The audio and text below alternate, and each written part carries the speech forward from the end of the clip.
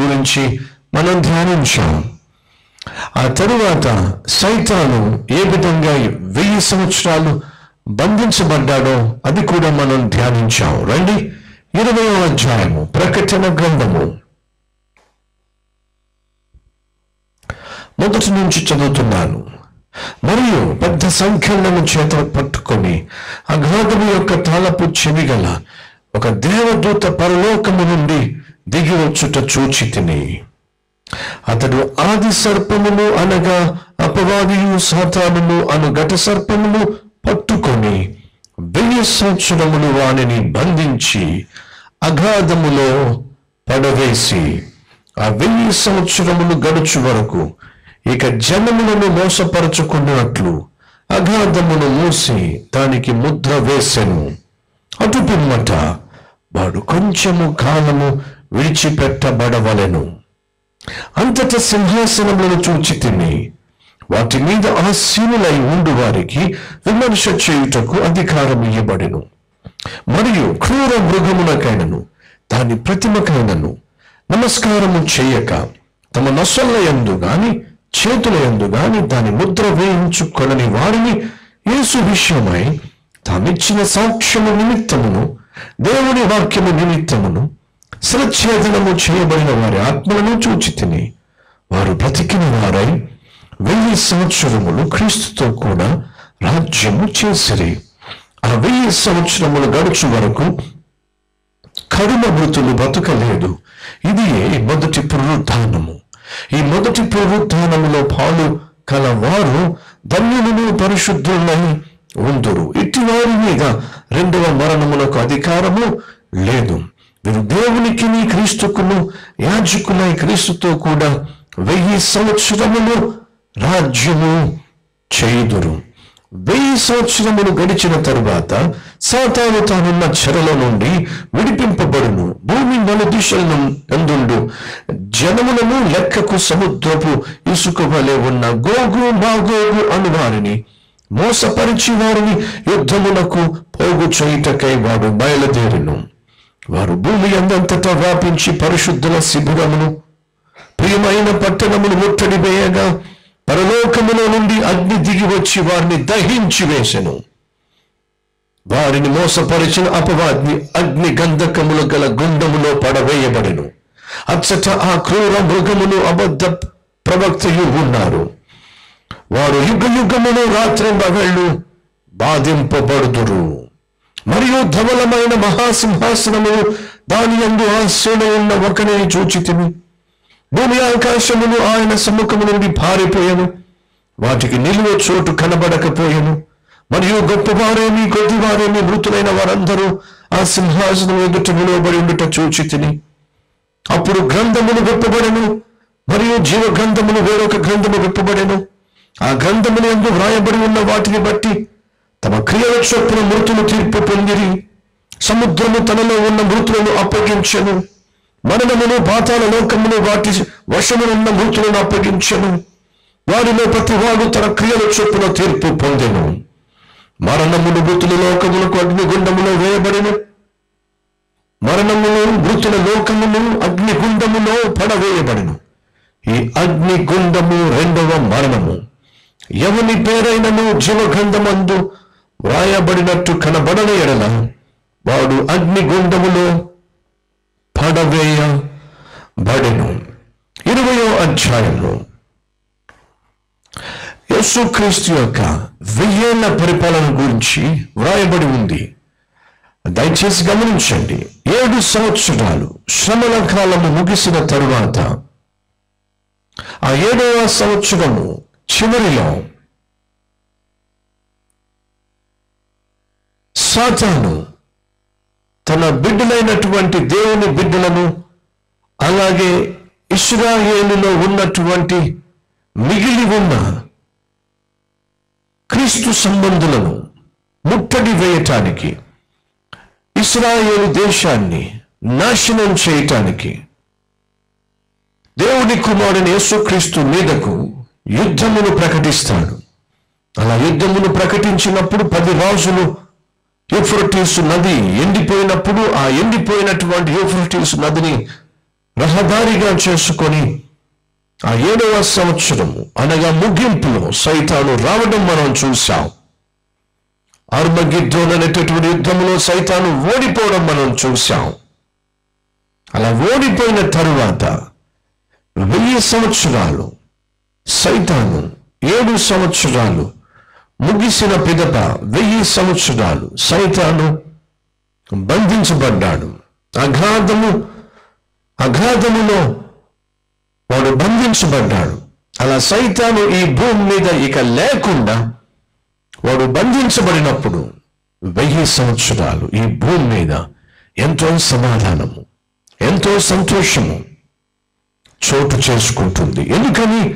ప్రభువైన యేసుక్రీస్తు తాను దిగి వచ్చి సైతాన్ యొక్క క్రియలను నాశనము చేసి వాడిని ఓడించి వెయ్యి సంవత్సరములు వాడు భూమి మీద కనిపించకుండా అగాధమును మూసి దానికి ముద్ర వేసెను. చీకటి బిలములో సాతాను త్రోసివేయబడ్డాడు. వెయ్యి సంవత్సరముల వరకు సాతాను కనిపించనే కనిపించడు. ఆ వెయ్యి సంవత్సరములు ప్రభు అయిన యేసు భూమి మీద పరిపాలన చేస్తాడు.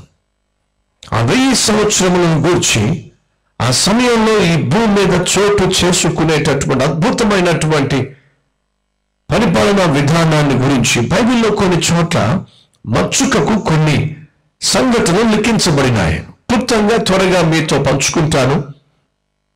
ఆ వెయ్యేళ్ళ పరిపాలనలో భూమి మీద ఎటువంటి వాతావరణం ఉంటుందో తెలుసుకోవాలని ఆశపడుతున్నారా? అయితే చూద్దాం రండి. మొదటిగా యష్యా గ్రంథము పదకొండవ అధ్యాయము. యష్యా గ్రంథము పదకొండవ అధ్యాయము.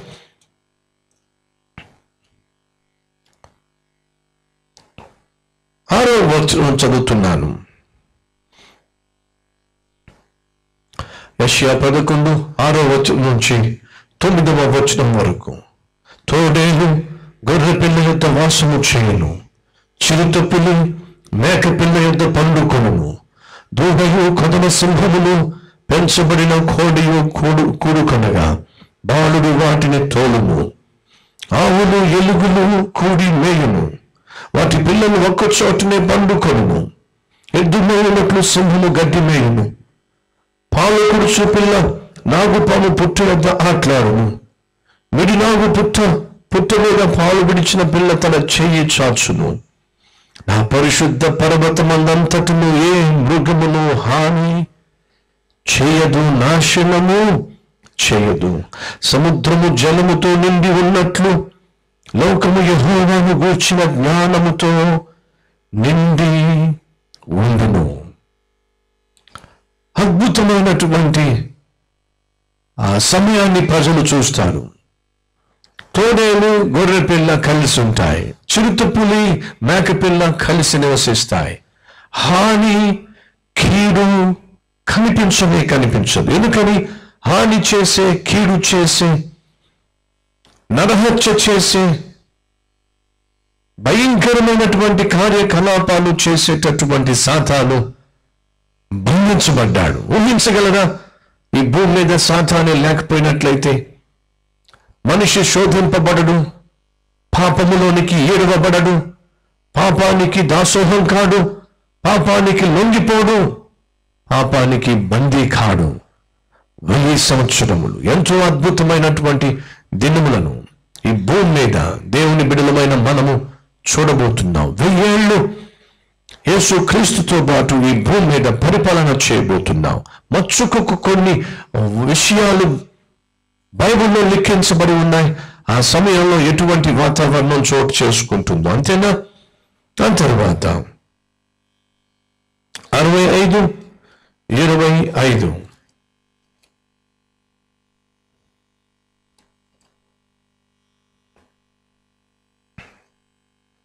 అరవై ఐదు ఇరవై ఐదు.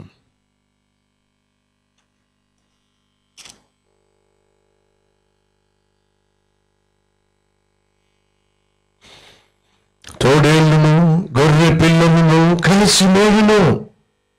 సింహము ఎద్దు వలె గడ్డి చెనులు సర్పమునకు మన్ను ఆహారమగును. నా పరిశుద్ధ పర్వతములో అవి హాని అయినను నాశనమైనను చేయకుండును. ముప్పై రెండవ అధ్యాయము. పదిహేడు. పదిహేడవ వచనము. నీతి సమాధానము కలుగజేయును నీతి వలన నిత్యమును నిమ్మలము నిబ్బరము కలుగును.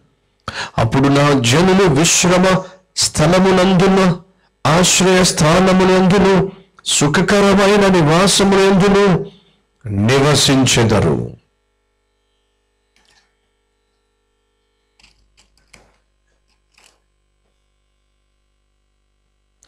పన్నెండవ అధ్యాయము మూడవ వచనం నుంచి. కావున మీరు ఆనందపడి రక్షణాధారములైన బాహులలో నీళ్ళు చేదుకొందురు. ఆ దినమున మీరు ఎలాగందరూ? యెహోవాను స్తుతించుడి ఆయన నామమును ప్ర- ప్రకటించుడి. జనములలో ఆయన క్రియలను ప్రచురము చేయుడి ఆయన నామము ఘనమైనదని జ్ఞాపకము తెచ్చుకునుడి. యహోవాను గూర్చి కీర్తన పాడుడి ఆయన తన మహత్యమును వెల్లడిపరచును. భూమి అందంతటను ఇది తెలియబడును. సియోను నివాసి సియోను నివాసి ఉత్సాహ ఉత్సాహధ్వని బిగ్గరగా చేయుము. మీ మధ్యనున్న సునాయేలు యొక్క పరిశుద్ధ దేవుడు ఘనుడై ఉన్నాడు. అది సమాధాన కాలము. ఏ హాని ఏ కీడు భూమి మీద కనిపించినటువంటి కాలము సంతోషకరమైన కాలము. రండి. ఏషియా అరవై ఒకటి. ఏషియా అరవై ఒకటి పది. అది సంతోషకరమైన కాలము.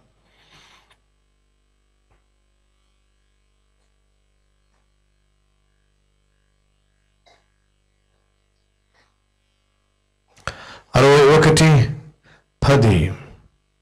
శృంగారమైన భాగా ధరించుకుని పెండ్లి కుమారుని రీతిగా అభరణములతో అలంకరించుకున్న పెండ్లి కుమార్తె రీతిగాను ఆయన రక్షణ వస్త్రములను నాకు ధరింపచేసి ఉన్నాడు. నీతి అను పై నాకు ధరింపచేసి ఉన్నాడు.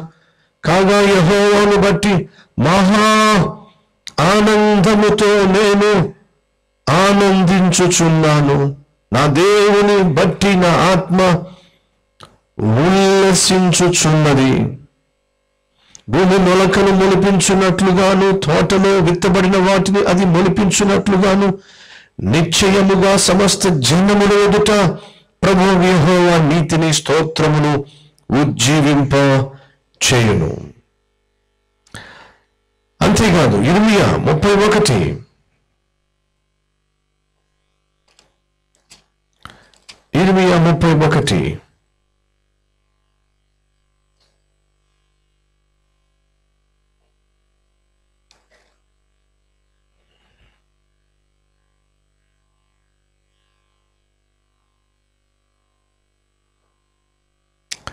పదమూడవ వచనము.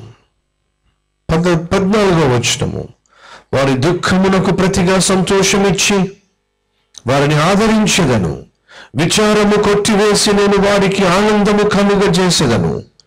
కనుక కన్యకలను యవనులను వృద్ధులను కూడి నాట్యమందు సంతోషించెదరు. క్రొవ్వుతో యాజకులను సంతోషపరచెదను. నా జనులు నా ఉపకారములను తెలుసుకొని తృప్తి నొందుదురు. ఇదే హోవా వాక్కు. సంతోషకరమైన ఆనందదాయకమైన నాట్యమాడేటటువంటి సమయము ఆ వెయ్యేళ్ళ పరిపాలన సమయము. ఏషియా నాలుగు మూడు అది పరిశుద్ధ కాలము. ఏషియా నాలుగు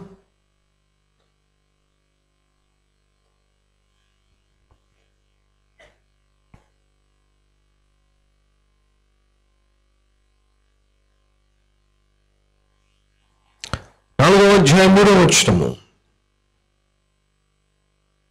తీర్పు తీర్చు ఆత్మ వలన దహించు ఆత్మ వలన. లేక మూడో వచ్చిన నాలుగో అధ్యాయం మూడో వచ్చినము సియోనులో శేషించిన వానికి సియోనులో శేషించిన వానికి ఎరుషలేములో నిలువబడిన వానికి అనగా జీవము పొందుటకై ఎరుషలేములో దాఖలైన ప్రతి వానికి పరిశుద్ధుడు పేరు పెట్టబడును. ఎవరైతే మిగిలి ఉన్నారో ఎవరైతే పరిశుద్ధులుగా లేక తన బిడ్డలుగా ఆనాడు ఉన్నారో వారందరూ కూడా పరిశుద్ధులు అనే పేరును పొందుకుంటారు. పేరు పెట్టబడి పిలువబడతారు. మొదటి అధ్యాయము ఇరవై ఆరో వచనము.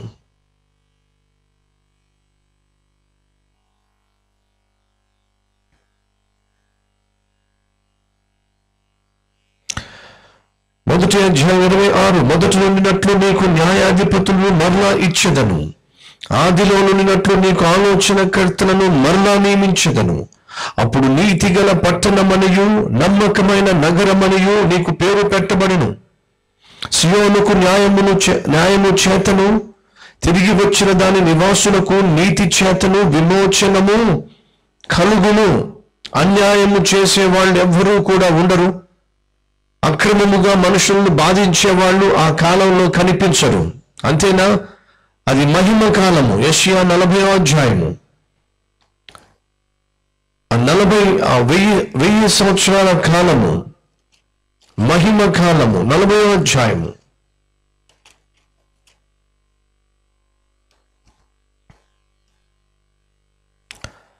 ఐదవ వచనము. యహోవా మహిమ బయలుపరచబడును. ఒకడును తప్పకుండా సర్వ శరీరును దానిని చూచెదరు. ఇలాగు జరుగునని యహోవా సెలవిచ్చి ఉన్నాడు. ప్రతి మనిషి దేవుని మహిమను చూసేటటువంటి కాలము ఆ వెయ్యేళ్ళ పరిపాలనా కాలము. మరి సూర్యుడి చ- సంగతి ఏమిటి? చంద్రుడి సంగతి ఏమిటి? చూద్దామండి యష్యా అరవై అధ్యాయము. పంతొమ్మిది ఇరవై వచనాలు. యషయ అరవై పంతొమ్మిది ఇరవై వచనాలు. ఇక మీదట పగలు సూర్యుని ప్రకాశము నీకు వెలుగుగా ఉండదు. నీకు వెలుగిచ్చుటకై చంద్రుడు ఇకను ప్రకాశింపడు. యహోవాయే నీకు నిత్యమైన వెలుగవును నీ దేవుడు నీకు భూషణముగా ఉండును. నీ సూర్యుడు ఇకను అస్తమింపడు నీ చంద్రుడు క్షీణింపడు. యహోవాయే నీకు నిత్యమైన వెలుగుగా ఉండును నీ దుఃఖ దినములు సమాప్తములగును. దుఃఖము ఏడుపు కన్నీళ్ళు ఆ వెయ్యి సంవత్సరాల్లో దేవుని బిడ్డలమైన మనకు ఉండదు. అంతేకాదు సూర్యుడు కాదు మనకు వెలుతురునిచ్చేది దేవుడే మనకు వెలుతురునిస్తాడు. ఆయనే మనలో ఉండి మనతో ఉండి ప్రకాశిస్తాడు అని బైబిల్లో మనం చూస్తున్నాం. అయితే వెయ్యేళ్ళ పరిపాలనలో మనం కూడా పాలు పంచుకుంటామా? మనం కూడా పరిపాలించేటటువంటి వారిలో ఉంటామా అనే ప్రశ్న సహజంగా వస్తుంది. అయితే చూద్దాం రండి మొదటి కొరింతలు రాసిన పత్రిక. ఆరో అధ్యాయము రెండవ వచనము. మొదటి కొరింతి ఆరో అధ్యాయము.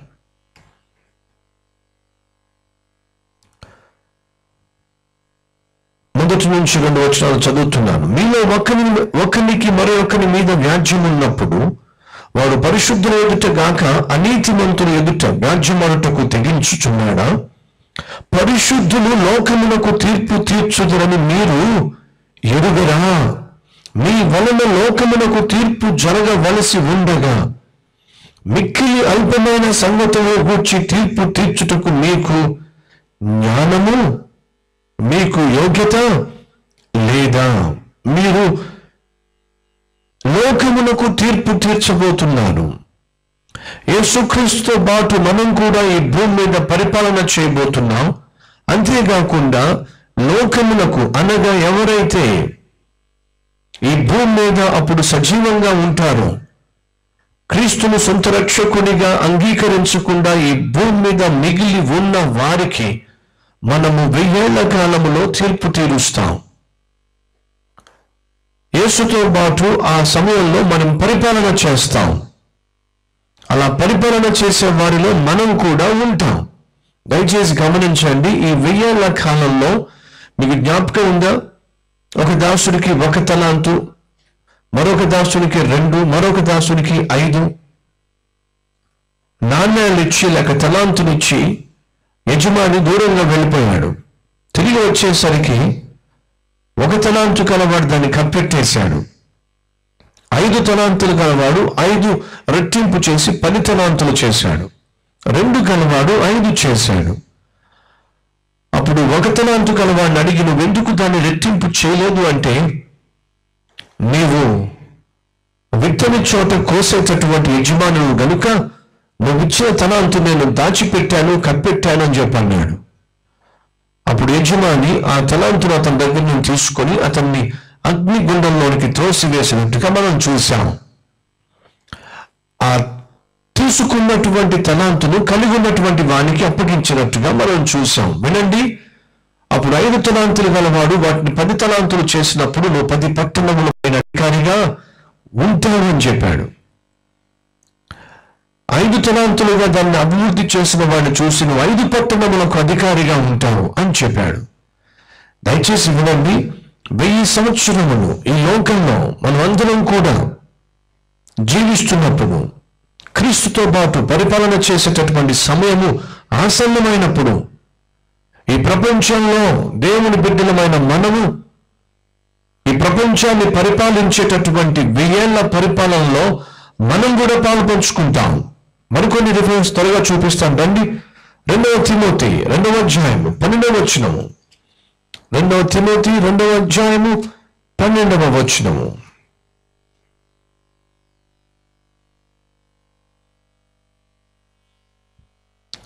పదకొండు పన్నెండు కూడా ఈ మాట నమ్మదగినది. ఏదనగా మనము ఆయనతో కూడా చనిపోయిన వారమైతే ఆయనతో కూడా బ్రతుకుదుము. సహించిన వారమైతే ఆయనతో కూడా ఏలుదును. ఆయనతో కూడా ఏం చేస్తామట ఏలుదును అంటే పరిపాలన చేస్తాం. మనం ఈ భూమి మీద సహించినట్లయితే శ్రమలను సహించినట్లయితే నువ్వు నీతిగా యథార్థంగా జీవిస్తున్నప్పటికీ అన్యాయంగా మాటలు భరించవలసి వస్తే ప్రభు సాక్షిగా జీవిస్తున్నప్పుడు నిన్ను అన్యాయంగా మనుషులు నిందలు వేసి హేళన చేసినప్పుడు నువ్వు క్రీస్తు పేరట వాటన్నిటిని సహించినట్లయితే భరించినట్లయితే నీ సాక్ష్యమును పాడు చేసుకోకుండా నీ ఆత్మీయతను విడిచిపెట్టకుండా నీ పవిత్రతను పాడు చేసుకోకుండా కాపాడుకున్నట్లయితే మనం ప్రభు యేసుక్రీస్తు పాటు పరిపాలన చేస్తాము. మనం సహించిన వారమైతే ఆయనతో పాటు ఏలుతాము ఏలుదుము. ప్రకటన రెండు ఇరవై ఆరు ప్రకటన రెండు ఇరవై ఆరు అక్కడ మరొక మాట మనం చూస్తాం.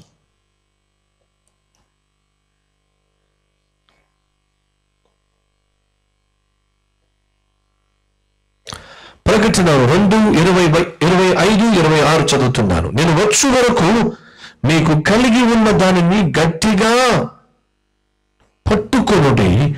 నేను నా తండ్రి వలన అధికారము పొందినట్టు జయించుచు.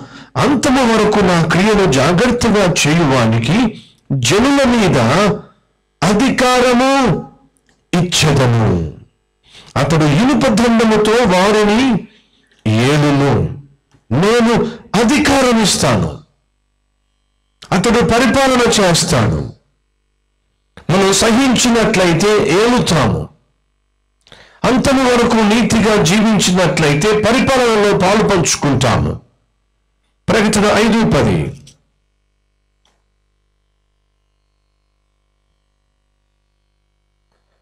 ఆ పెద్దలు నీవు ఆ గ్రంథమును తీసుకొని దాని ముద్రలను విప్పుటకు యోగ్యుడవు. నీవు వధింపబడిన వాడవై నీ రక్తం ఇచ్చి ప్రతి వంశములోను ఆయా భాషను మాట్లాడు వారిలోను ప్రతి ప్రజలోను ప్రతి జనములోను దేవుని కొరకు మనుషులను కొని మా దేవునికి వారికి వారిని ఒక రాజ్యముగాను యాజకులుగాను చేసితివి. గనుక వారు భూలోకమందు ఏలుదురని కొత్త పాట పాడుదురు. పరిపాలన చేస్తాం ఈరోజు మాటలు వింటున్న సహోదరి సహోదరు జాగ్రత్తగా వినండి. మనిషికి అధిక బలం ఉన్నట్లయితే డెబ్బై నుంచి ఎనభై సంవత్సరాలు. మన పైన అధికారులు ఉంటారు ఉద్యోగం చేసే చోట. మనం నివసిస్తున్న చోట కొంతమంది మన మీద అరాచకం చేస్తూ ఉంటారు. అన్యాయంగా వ్యవహరిస్తూ ఉంటారు. వాళ్ళకి అధికారం ఉంది కాబట్టి వాళ్ళు చెప్పింది వేదంగా వాళ్ళు ఏం చేసినా అడిగే వాళ్ళు ప్రశ్నించే వాళ్ళు లేరు కాబట్టి వారి ఆగడాలకు ఏమాత్రము హద్దు లేకుండా ఉంటుంది. దానిని సహించటం మనకెంతో కష్టం భరించటం ఎంతో బాధకరం. కానీ వాళ్ళు పెట్టేటటువంటి అరాచకాలు వారి యొక్క పరిపాలన వారు మీ పైన కలిగి ఉన్న అధికారము కేవలము బహు తాత్కాలమైనది సంవత్సరము రెండు సంవత్సరాలు ఐదు సంవత్సరాలు మాక్సిమం పది సంవత్సరాలు కొన్ని సంవత్సరాలు. ఈరోజు ఈ మాటలు వింటున్న సహోదరి సహోదరుడు ఒక సత్యాన్ని మీతో పంచుకోబోతున్నా.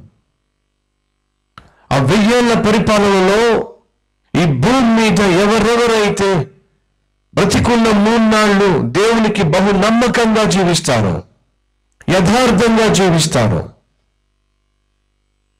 ఆయనకు అంగీకారంగా జీవిస్తారో. నీతిగా జీవిస్తారో. ఆస్తిపాస్తులు లేకపోయినప్పటికీ అంతస్తులు లేకపోయినప్పటికీ పేరు ప్రఖ్యాతులు లేకపోయినప్పటికీ సిరి సంపదలు లేకపోయినప్పటికీ గుర్తింపు లేకపోయినప్పటికీ ఎవరెవరైతే నన్ను మనుషులు గుర్తించినా గుర్తించకపోయినా పర్వాలా? నన్ను మనుషులు మెచ్చుకున్నా మెచ్చుకోకపోయినా పర్వాలా? నేను ఈ లోకంలో ఆస్తిపాస్తులు సంపాదించినా సంపాదించకపోయినా పర్వాలా? వెండి బంగారములు లేకపోయినా పర- పర్వాలా? ఖరీదైనటువంటి వస్త్రాలు ధరించకపోయినా పర్వాలా? సొంతంగా ఇల్లు ఉండకపోయినా పర్వాలా? బ్యాంక్లో బ్యాలెన్స్ లేకపోయినా పర్వాలా? నేను బతుకున్న మూడు మాత్రం నా దేవునికి అంగీకారంగా జీవించాలి. నా దేవునికి మహిమకరంగా జీవించాలి. నా చేతలు కానివ్వండి. నా నడక కానివ్వండి నా పడక కానివ్వండి నా పనులు కానివ్వండి నా మాటలు కానివ్వండి నా నా చూపులు కానివ్వండి నా తలంపులు కానివ్వండి ఇవన్నీ కూడా నా దేవునికి సంతోషాన్ని ఇచ్చేదిగా ఉండాలి. ఆనందాన్ని ఇచ్చేదిగా ఉండాలి. మహిమపరిచేదిగా ఉండాలి. అని ఎవరైతే ఈ భూమి మీద బ్రతుకున్న మూన్నాళ్ళు తమను తాము బహు జాగ్రత్తగా కాపాడుకుంటారో అయితే వినండి వాళ్ళ వెయ్యేళ్ళ పరిపాలనలో ఉన్నతమైన స్థానంలో నిలబెట్టబడతారు. మీలో చాలా మంది అనుకుంటారు ఆ, మా బ్రదర్ సతీష్ కుమార్ గారికి ఆ వెయ్యేళ్ళ పరిపాలనలో ఏ స్థానం ఉంటుందో ఇంత పెద్ద సంఘానికి కాపరి కాబట్టి ఎంతో సువార్త ప్రకటిస్తున్నారు కాబట్టి ఎన్నో లక్షల మందికి వాక్యాన్ని అందిస్తున్నారు కాబట్టి ఎంతో కాలంగా సేవ చేస్తున్నారు కాబట్టి అసలు ఆ వెయ్యేళ్ళ పరిపాలనలో ఎక్కడ ఉంటారో కనీసం ఊహించటమే కష్టంగా ఉంటుంది అనుకుంటున్నారా? అదంతా ఒట్టి మాట. అనేక సందర్భాల్లో విజిటింగ్ అవర్స్కి వచ్చి కొంతమంది సహోదరులు సహోదరులు చెప్పే సాక్ష్యాలు వింటున్నప్పుడు నాకు అనిపిస్తూ ఉంటుంది వీళ్ళు పరలోకంలో లేదా ఆ వెయ్యేళ్ళ పరిపాలనలో ఎంత ఉన్నతమైన స్థానంలో ఉంటారో. నిన్న ఒక సహోదరి వచ్చింది. అయ్యా నాకు ఒక ఆశ ఉంది. ఏంటమ్మా? నేను నా భర్త కూలి పని చేసుకుంటాం. కూలి పని చేసుకుంటాం. నాకున్న ఆశ నా భర్త అర్థం చేసుకుని దాన్ని నెరవేర్చాలని ఆశపడుతున్నాను అంది. ఏంటో నీకున్న ఆశ? ప్రతి నెల నేను నా కుటుంబము కల్వరేశ్వరాన్ని బలపరిచి లక్షల మందికి సువార్తను అందించాలయ్యా. అది నా ఆశ. నువ్వు ఏం చేస్తావు? ఇళ్ళల్లో పని చేస్తానయ్యా. మరి మీ ఆయన కూలి పని చేస్తాడయ్యా. ఇళ్ళల్లో ఇళ్ళల్లో పనిచేసే నువ్వు కూలి పని చేసే మీ ఆయన ప్రతి నెల కల్వరస్వాన్ని బలపరచడం ఎలా సాధ్యమవుతుంది? ఏమోనయ్యా నేను మాత్రం ప్రార్థన చేస్తున్నా దేవుడు మాకు ఆ శక్తిని ఇవ్వాలని లక్షల మందికి సువార్తను పంచిపెట్టే కుటుంబంగా మా కుటుంబం ఉండాలని నేను ఆశపడుతున్నాను. వీళ్ళు పరలోకంలో ఐశ్వర్యవంతులు.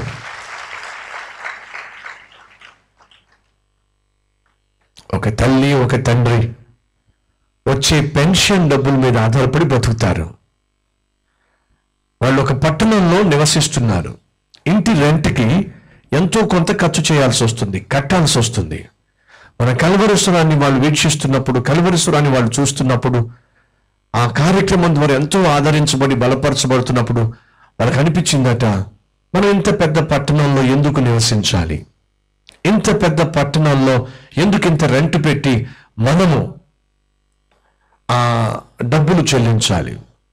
మరొక విషయం చెప్పటం మర్చిపోయాను. వాళ్ళ అబ్బాయి ఎక్కడో అమెరికాలోనో ఇతర దేశంలో ఉంటాడట. ప్రతి నెల ఎంతో కొంత పంపిస్తూ ఉంటాడట. ఆ రెంట్ కోసం తల్లికి తండ్రికి కావలసిన వాటి కోసం. అలాగే వాళ్ళ పెన్షన్ కూడా వస్తుంది. ఆ తల్లి తండ్రి నా దగ్గరకు వచ్చారు. అయ్యా ఈ వృద్ధాప్యంలో ఎప్పుడు ఊడిపోతావో మాకు తెలియదు ఎప్పుడు వెళ్ళిపోతావో మాకు తెలియదు మాకు అంత రెంట్తో కూడిన ఇల్లు ఎందుకు చెప్పండి? అందుకు నేను నా భార్య ఒక నిర్ణయం తీసుకున్నాం ఏం నిర్ణయం తీసుకున్నారు? ఆ పట్టణం నుంచి ఆ జిల్లా నుంచి మేము బహుదూరంగా వచ్చేసాం. ఒక కొండ ప్రాంతం దగ్గర ఒక చిన్న ఇల్లు తీసుకున్నాం. చాలా తక్కువ ఖరీదు చాలా తక్కువ రెంటు. ఎన్ని తీసుకున్నారు? అలా రెంట్ తక్కువ ఇల్లు తీసుకోవడం వల్ల రెంట్కి డబ్బులు మిగులుతాయి. ఏం చేస్తారు ఈ వయసులో? కల్వరి స్వరం ద్వారా అనేక లక్షల మందికి సువార్తను ప్రకటించాలి. వృద్ధాప్యంలో వృద్ధాప్యంలో. ఎంతో కొంత సుఖాన్ని సౌఖ్యాన్ని కోరుకోవలసిన వయసులో ఆ తల్లి తండ్రి అంటున్నారు మా అబ్బాయి పంపించి ఆ డబ్బు రెంట్కి ఇవ్వడం కంటే మేము కొంచెం తగ్గించుకొని కొంచెం సర్దుకొని ఒక చిన్న ఇంట్లో ఉన్నట్లయితే ఆ డబ్బులు మిగులుతాయి కదా ఆ మిగిలే డబ్బులతో సువార్తను ప్రకటింపచేస్తే ఎంత బాగుంటుంది. అనగా ఒక ఎగ్జాంపుల్ చెప్తున్నాను అంతే. దయచేసి గమనించండి. నాలో మైక్ పట్టుకుని వాక్యం చెప్తేనే దేవుని దృష్టిలో గొప్ప అనుకోకండి. నా హృదయపూర్వకంగా చెప్తున్నాను మన కల్వరి టెంపుల్లోనే కొన్ని వందల మంది వేల మంది వెయ్యేళ్ళ పరిపాలనలో నాకంటే ఉన్నతమైన స్థానంలో ఉంటారు. నాకంటే ఉన్నతమైన స్థితిలో మన మందిరంలోనే ఉంటారు.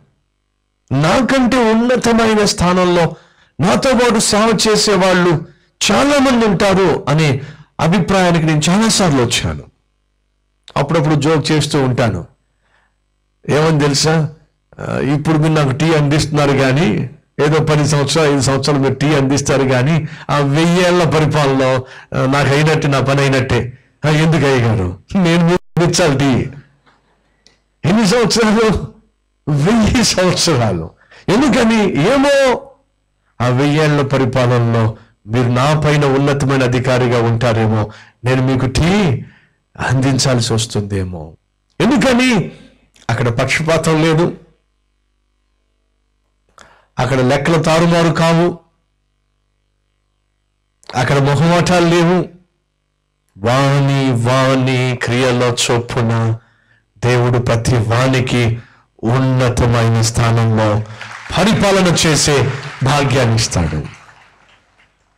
ఇప్పుడు ఈ రోజుల్లో సాధారణంగా ఐఏఎస్ అంటాం ఐపీఎస్ అంటాం ఒక జిల్లాకి అధికారి అంటాం ఐదు జిల్లాలకు అధికారి అంటారు ఒక రాష్ట్రానికి అధికారి అంటారు ఒక దేశంలో ఒక ప్రాంతానికి అధికారి అంటారు దేశం మొత్తానికి అధికారి అంటారు. చూసారా లేక మండలానికి అధికారం అంటారు గ్రామానికి సర్పంచ్ అంటారు టౌన్కి సర్- ఆ, అధికారి అంటారు. దయచేసి వినండి. ఆ వెయ్యేళ్ళ పరిపాలనలో ఎవరికి తెలుసు?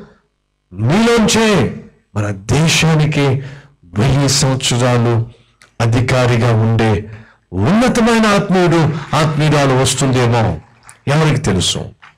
సహోదరి సహోదరులు ఈ భూమి మీద బతికే ఈ మూలాల గురించి ఆలోచించమాకండి ఈ భూమి మీద మనం జీవించే ఈ మూలాల ముచ్చట కోసం కకృతిపడి ముచ్చట్లు తెచ్చుకోవడానికి ఇక్కట్లు పడవద్దని ప్రభు పేరట మనం చేస్తున్నా. ఈ మూడు ముచ్చట్లు పక్కన పెట్టి వెయ్యేళ్ళ పరిపాలన ఉంది. ఆ వెయ్యేళ్ళ పరిపాలనలో నేను నా దేవుని ద్వారా ఉన్నతమైనటువంటి స్థితిలో వెయ్యి సంవత్సరాలు పరిపాలన చేసే భాగ్యాన్ని పొందుకునే కృప నాకు దయచే ప్రభు. ఆ స్థితిలో నిన్ను మహింపరిచే నీకు ఉపయోగపడే ఆ ఉన్నతమైన జీవితం నాకు దయచేయి. ఎవరైతే ఈరోజు పేదరికంలో కూడా కఠిన దారిద్ర్యములో కూడా ఆత్మీయతను కాపాడుకుంటూ పరిశుద్ధతను కాపాడుకుంటూ ఒక పూట తింటూ ఒక పూట తినకుండా దేవుని రాజ్యము కొరకు ప్రయాసపడుతున్నారో నశించిపోతున్న ఆత్మలకు సువార్తను అందించాలి. వారితో యేసుక్రీస్తు గురించి మాట్లాడాలి వారికి క్రీస్తును పరిచయం చేయాలి. అనే సమయాన్ని కేటాయిస్తున్నారు. తమ శక్తిని వెచ్చిస్తున్నారు. చేతనైన సహాయాన్ని చేయగలిగిన ప్రతిసారి చేయగలుగుతున్నారు. ఒక మంచి మాట చెప్పి ఒక వ్యక్తిని ఓదార్చగలుగుతున్నారు ప్రోత్సహించగలుగుతున్నారు. మేలు చేయటంలో విసుకక చేయగలిగిన మేలు చేయటానికి ముందడుగు వేస్తున్నారు. వీళ్ళందరూ కూడా వెయ్యేళ్ళ పరిపాలనలో ఉన్నతమైన స్థితిలో కనిపిస్తారు ఆ వెయ్యేళ్ళ పరిపాలనలో భూమి మీద గొప్ప గొప్ప సేవ చేసిన వాళ్ళు ఇప్పటికీ చేస్తున్న వాళ్ళు చాలా మంది ర్యాంకులన్నీ తారుమారైపోతాయి. ఏమైపోతాయి? ర్యాంకులన్నీ తారుమారైపోతాయి. నేను చెప్పా కదా ఈరోజు ఇక్కడ నిలబడి నేను వాక్య పరిచర్య చేస్తున్నాను కల్వరి టెంపుల్కి కాపరిగా. ఆ కృపను ఆ ధన్యతను నేను పొందుకున్నాను కానీ వియోతి గతి కలిగి ఉన్నంత మాత్రాన అదే సమయంలో ఈ లోకంలో పేదరికంలో ఉన్నంత మాత్రాన నువ్వు పేదవాడివి కానే కాదు దేవుని దృష్టిలో దీనినిగాను దిక్కుమాలని వానిగాను దరిద్రునిగాను ఉన్నంత మాత్రాన దేవుని దృష్టిలో మాత్రము దరిద్రుడివి దీని దరిద్రుడివి దిక్కుమాలని వాడివి కానే కాదు. ఆ వెయ్యేళ్ళ పరిపాలనలో మన ర్యాంకులన్నీ కూడా తలక్రిందులైపోతాయి ఓ భక్తుడు సెలవిచ్చాడు ఖచ్చితంగా పరలోకంలో కనిపిస్తాడు అనుకున్న వ్యక్తి కనిపించకుండా మాయమైపోతాడు. ఈ మనిషి పరలోకంలో పొరపాటును కూడా కనిపించడు అనుకున్న వ్యక్తి సడన్గా ప్రత్యక్షమైపోతాడు. ఎవరైతే ఉంటారు అనుకుంటారో వారు మాయమైపోతారట. ఎవరైతే రారు అనుకుంటారో వారు పరలోకంలో కనిపిస్తారట. ఈ వెయ్యేళ్ళ పరిపాలనలో ఈ భూమి మీద ఎవరైతే దరిద్రులు గాను దిక్కుమాలను వారు గారు ప్రజలు ఎంచారో వాళ్ళే వెయ్యేళ్ళ పరిపాలనలో ఉన్నతమైన స్థానంలో నిలిచి ఉండి దేవుని యొక్క ఆజ్ఞ అనుసారముగా ప్రపంచాన్ని పరిపాలిస్తారట. ఈరోజు మాటలు వింటున్న సహోదరి సహోదరుడు నీ జీవితం కేవలం యాభై సంవత్సరాలు అరవై సంవత్సరాలు డెబ్బై ఎనభై సంవత్సరాలు కాదు.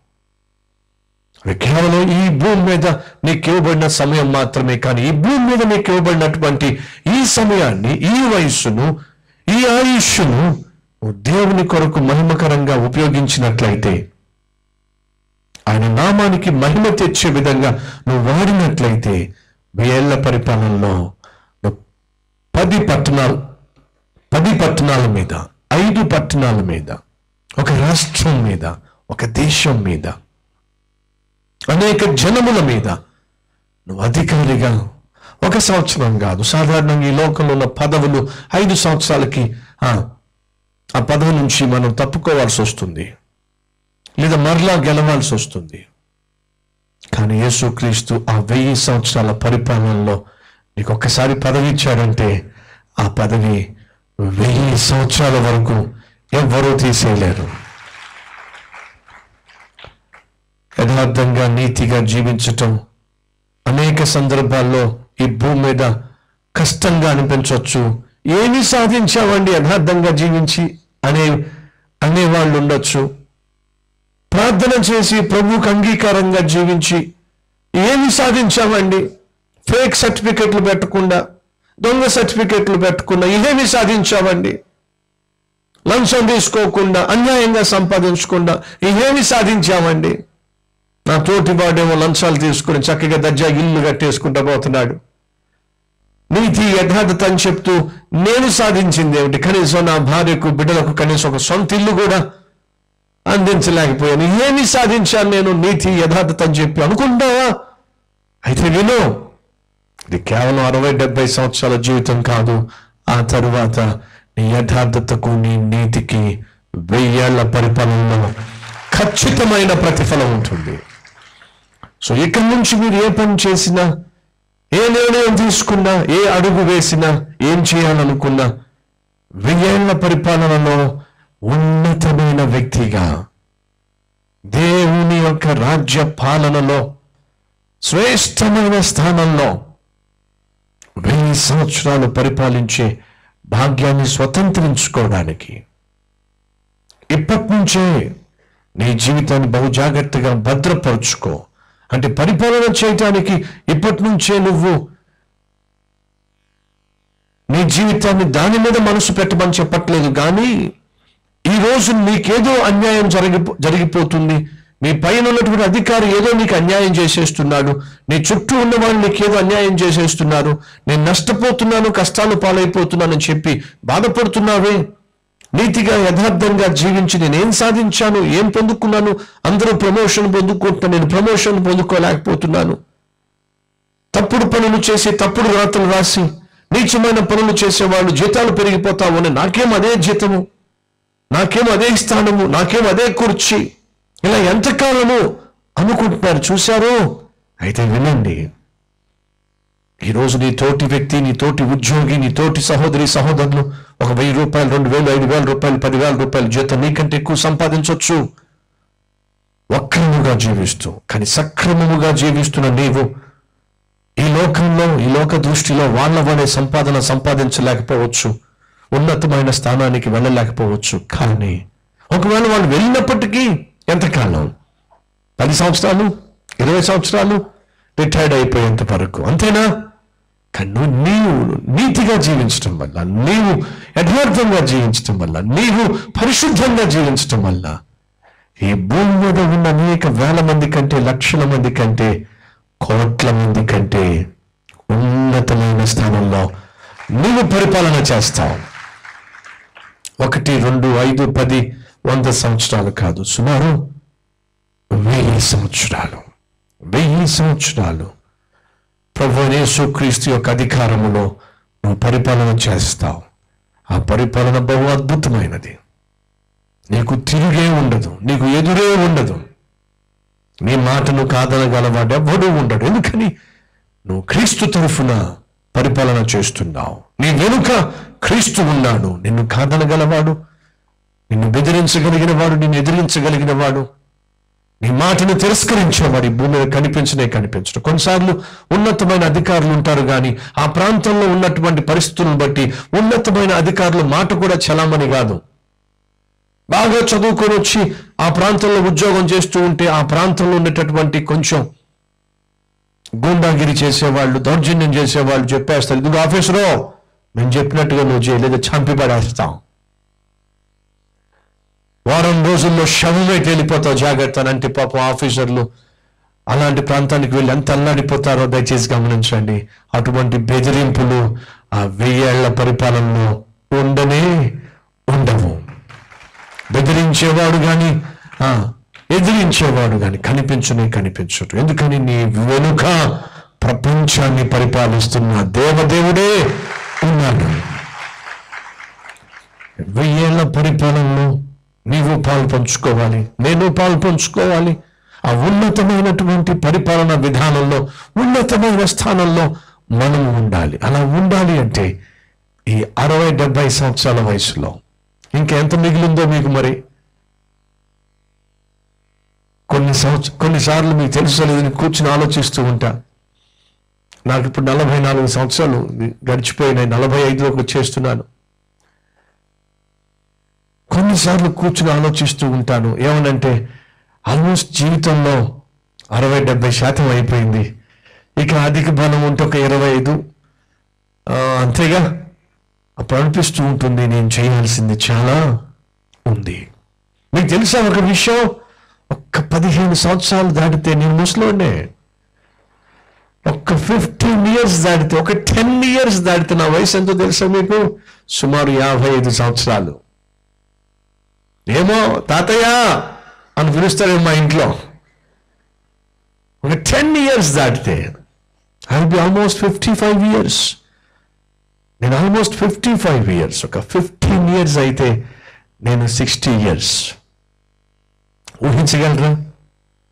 మన ఎదుట చాలా తక్కువ టైం ఉంది.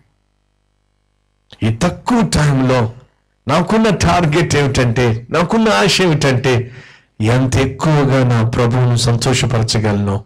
ఎంత ఎక్కువగా నా ప్రభు యొక్క రాజ్య విస్తరణలో ప్రయాసపడగలను? అదే నా గురి అదే నా గమ్యం. నలభై ఐదు సంవత్సరాలు ఇట్టే గడిచిపోయినాయి. వెనక్కి తిరిగి చూసుకుంటే సాధించింది ఏదైనా ఉంది అనుకుంటే ఏమీ కనిపించటంలా?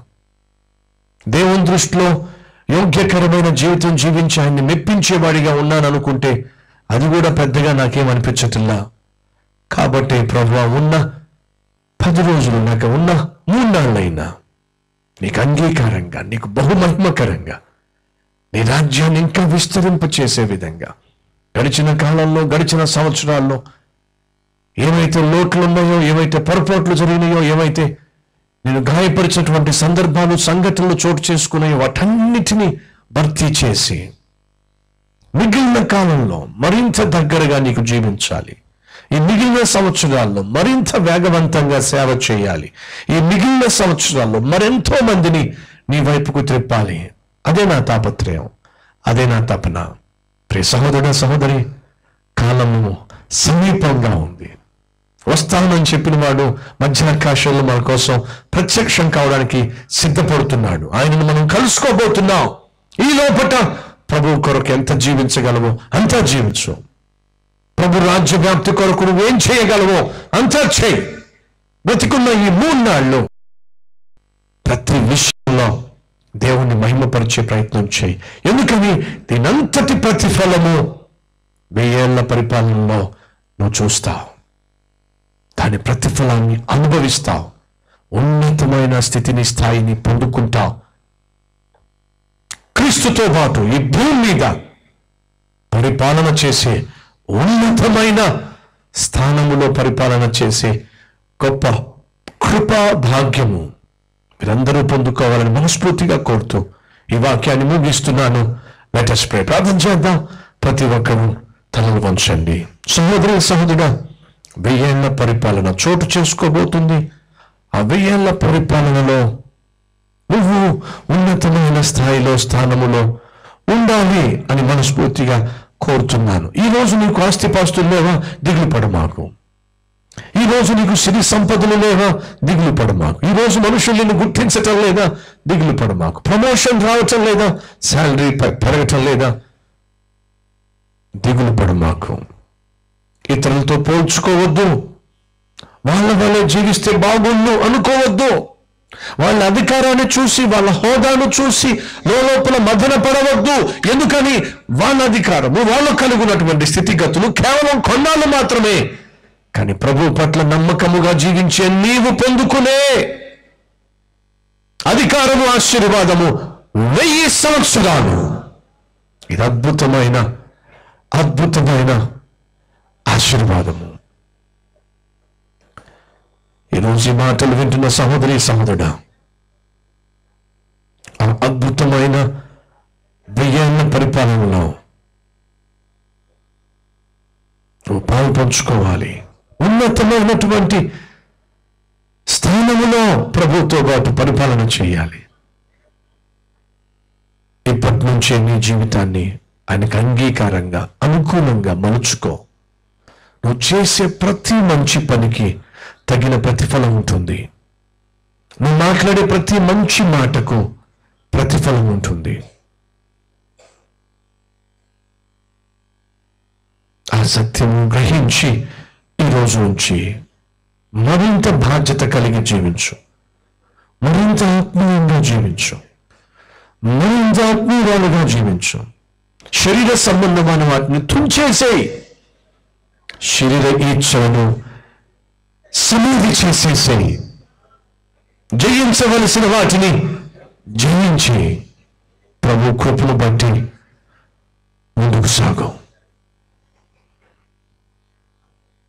ఈ లోకంలో నాకు అది లేదు ఇది లేదని చెప్పి ఇతరులతో పోల్చుకొని నిన్ను నువ్వు ఒకవేళ నిరుత్సాహపరుచుకుంటున్నట్లయితే విను నీ యథార్థత నీ నీతి నీ పవిత్రత పరిశుద్ధత.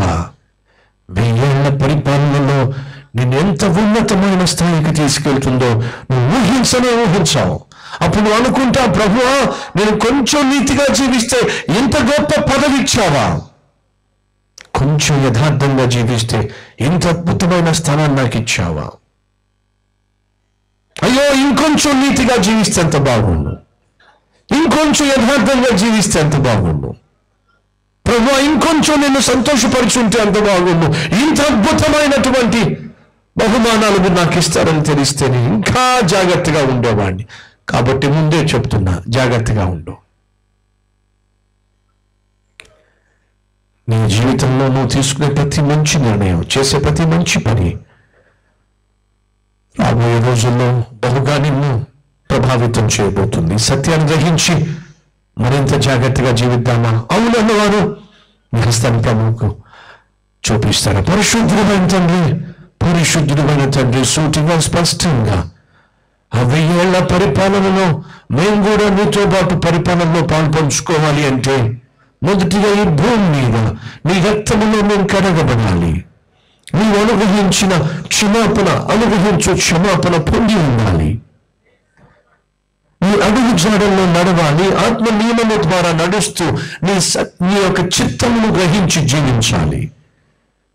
లోక మాలిన్యము అంటకుండా ఈ లోక సంబంధమైన జీవన వ్యాపారంలో చిక్కుకోకుండా ప్రతి నిత్యము నిన్ను సంతోషపరుస్తూ నీ నామాన్ని ఘనపరుస్తూ నీ మహిమార్థమై జీవిస్తూ ముందుకు సాగే మహాభాగ్యము తుది శ్వాస వరకు మాకు దయచేయమని.